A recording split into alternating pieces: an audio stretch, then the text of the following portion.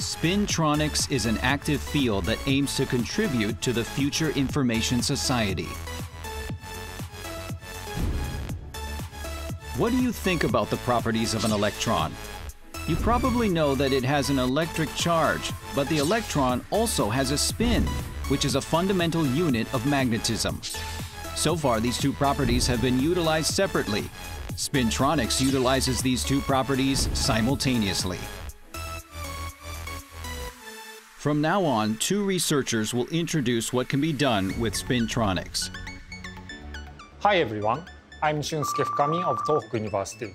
In this lab, we study ultra-small magnetic devices which we switch using electric currents.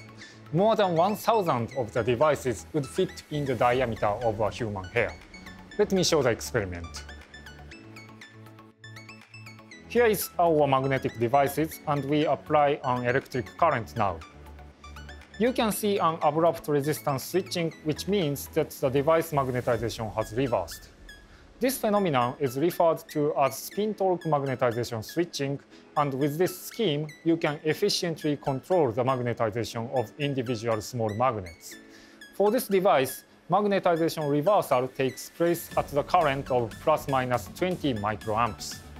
Here, if you attempted to reverse the magnetization using a magnetic field based on classical Ampere's law, you would need about 50 milliamps. So in this case, the principle of spintronics allows us to control the magnetization with thousands times higher efficiency.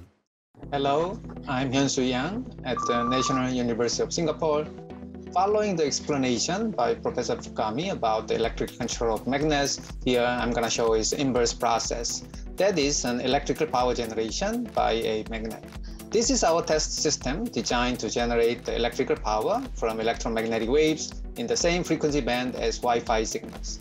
Individual magnetic devices were developed and provided by Professor Fukami's team. The magnetic devices are designed so that Wi-Fi band electromagnetic waves cause the magnetization to oscillate, leading to electrical power generation. We demonstrated that an array of these magnetic devices connected in series can harvest enough energy from Wi-Fi band signals to power an LED. In daily life, we are surrounded by always-on Wi-Fi signals, and when we are not actually using them, the huge amount of energy used to generate them goes to waste. This technology can serve as a energy harvester of Wi-Fi signals, so it is a promising way to realize battery-free sensors and IC chips. As shown here, various innovative technologies are being developed in the field of spintronics. As the research and development advance further, our daily life is expected to become even more convenient and energy efficient.